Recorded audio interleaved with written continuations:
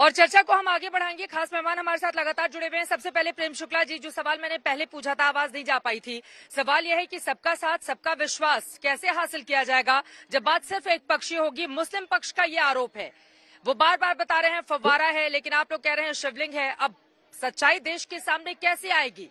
ये एक आम आदमी के जहन में सवाल है, प्रेम शुक्ला जी। चित्रा जी, बहुत अच्छा सवाल है। सबका साथ, सबका विकास, सबका विश्वास और सबका प्रयास। ये हमारा सूत्र वाक्य है सुशासन का। लेकिन सबका विश्वास का मतलब है कि अगर किसी पर अन्याय हो गया है तो उसको न्याय दिलाना भी विश्वास अर्जित करने का एक मार्ग है। तो अगर इस देश के बहुसंख्यक समुदाय की आस्था पर सदियों से हुआ प्रहार जारी रखना क्या विश्वास अर्जित करने का मार्ग हो सकता है? ऐसे में जब संवैधानिक मार्ग से न्यायालयी दृष्टिकोण से अगर इस विवाद के हल की गुंजाइश बनती है तो हर किसी को इस विवाद का हल करना चाहिए ताकि आपका एक दूसरे के प्रति जो विश्वास है और सुदृढ़ हो सके। तो हम तो विश्वास को सुदृढ़ करने की दिशा में ही काम कर रहे हैं। लेकिन जो विभाजनवादी शक्तियाँ हैं उन विभाजनवादी शक्तियों को एक दूसरे से भाई ये नफरत का मकबरा है कि नहीं है? अगर एक मंदिर को धराशायी करके वहाँ पर कौन है विभाजन वाली शक्तियाँ?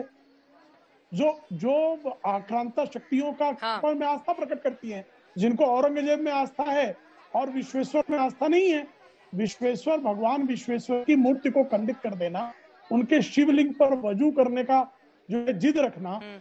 यह विभाजनवादी शक्तियों का काम नहीं तो किसका काम है हम्म। अगर सौहार्द की बात करें गंगा जमुनी संस्कृत की बात करें तो क्या गंगा के विरुद्ध जमुना हो सकती है क्या गंगा की आस्था पर जमुना प्रहार कर सकती है क्या आप जो हैं अगर मान लीजिए किसी की मस्जिद को हम्म। तोड़कर वहाँ मंदिर बनाया गया होता और यह मुस्लिम धर्म के लोग प्रमाणित कर देते तो क्या हिंदुओं का दायित्व तो नहीं था कि वो मस्जिद सौंप दी जाती? इसी तरह से यही दायित्व तो मुस्लिम समाज का भी है। अगर वो को अदालत के माध्यम से भी इसको मानना चाहते हैं हम्म। संवैधानिक प्रक्रिया में मानना चाहते हैं तो उसका भी स्वागत है।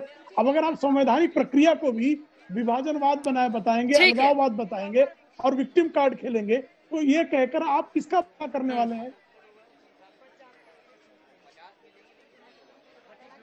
अब मैं सीधे आसिम वकार साहब आपके पास आते हुए, अब तो यहाँ पर हिंदू पक्ष का ये भी कहना है कि अगर मस्जिद के भीतर से मंदिर के पुख्ता प्रमाण मिल रहे हैं तो ये तो मुस्लिम पक्ष की ही ज़िम्मेदारी होनी चाहिए कि वो सौंप दे अब उस मस्जिद को मंदिर के हिस्से में।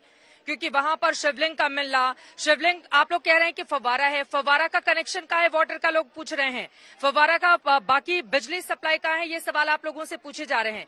कम से कम जाँच को तो आगे बढ़ने दीजिए। अगर सर्वे पर ही बार बार सवाल खड़े किए जाएँगे तो आप लोगों की मंशा को ले भी, कर भी सवाल पूछे जाएँगे कि जो सच है, उसको क्या दूसरा पक्ष सामने आने नहीं देना चाहता है, आसिम बकार साहब? और आपके नेता की ओर से भद्र टिप्पणी की जा रही है एमआईएम के प्रवक्ता की ओर से। किसी के भी आराध्य देव को लेकर जिसमें करोड़ों लोगों की आस्था हो, उसको लेकर इस तरह की टिप्पणी आपको लग रहा है कि ये देश या देश का एक बड़ा हिस्सा जो हिंदू वर्ग है, जो पूछता है उनको वो बर्दाश्त करेगा? हिंदू पक्ष ये सवाल पूछ रहा है आप लोगों से। आसिम बकार जी। पहले देखिए, किसने क्या टिप्पणी की है, अभी मेरे पास जानकारी नहीं। दूसरी बात अगर मैं सच बोलूँगा तो मैं समझता हूँ कि शायद हिम्मत होना चाहिए सच सुनने की। मैंने अभी प्रेम शुक्ला जी को सुना, ब्राह्मण है। ब्राह्मण सबसे, मैं समझता हूँ, उच्च जाति में आते हैं। देखिए, जितनी जानकारी मुझे इस हिंदुस्तान, इस भारत में रह मैं मुसलमान के साथ साथ एक प्योर और सच्चा भारतीय भी और हर भारतीय की ज़िम्मेदारी होती है कि वो अपने धर्म के साथ साथ अपने पड़ोसी, अपने भाई के धर्म के बारे में भी जानकारी रखे। आपने सारा दोष मुसलमानों पर डाल दिया। लेकिन जितनी जानकारी मुझे है मैं आपके धर्म से आपके समाज के लोगों से ये पूछना चाह रहा हूँ कि भारतवर्ष में भारतवर्ष में जितने भी शिव शिवलिंग हैं उनमें जो बारह बारह जो शिवलिंग हैं उनको बोलते हैं ज्योतिर्लिंग। सिर्फ़ बारह और बाकी शिवलिंग है। हम्म। फ़र्क यह है कि जो मैन मेड है जिनको इंसानों ने बनाया वो शिवलिंग है और जो स्वयं प्रकट हो गए। ज़मीन से प्रकट हुए। उनको बोलते हैं ज्योतिर्लिंग। और शिव स्त्रोत के शिव स्त्रोत में द्वादश ज्योतिर्लिंग का ज़िक्र है। द्वादश मतलब बारह ज्योतिर्लिंग। तेरवा नहीं अरे शिव स्त्रोत में द्वादश ज्योतिर्लिंग वो तो बता ही रहे हैं प्रेम शुक्ला जी आपसे पूछा जा रहा है। जो जो शिवलिंग दावा किया जा रहा है प्रकट होने का मस्जिद के भीतर उसके ऊपर वाले हिस्से को लोग कह रहे हैं कि सीमेंट करके उसको चौकोर में कट कर दिया गया है। उसको अलग तो रूप देने की कोशिश को क्षति पहुँचाने की कोशिश की गई है। तो जाँच होने दीजिए। जाँच में कम से कम सच तो सामने निकल कर आए ना। और यहाँ तो समाजवादी पार्टी के एक प्रवक्ता की ओर से भी कहा गया है कि जो मुस्लिम धर्म से ताल्लुक रखती है कि कोई किसी भी मस्जिद में नमाज़ तभी कबूल की जाएगी जब वहाँ पर मंदिर का कोई अस्तित्व नहीं मिले। ये आप लोगों ने तेरवा शिवलिंग कैसे प्रकट करा दिया। अभी तक तो शिव स्त्रोत में बारह का ज़िक्र था द्वादश ये तेरवा शिवलिंग हो गया। हाँ। तेरवा कैसे आ गया? बात समझिए मेरी। हमें धोखा नहीं दे रहे आप लोग।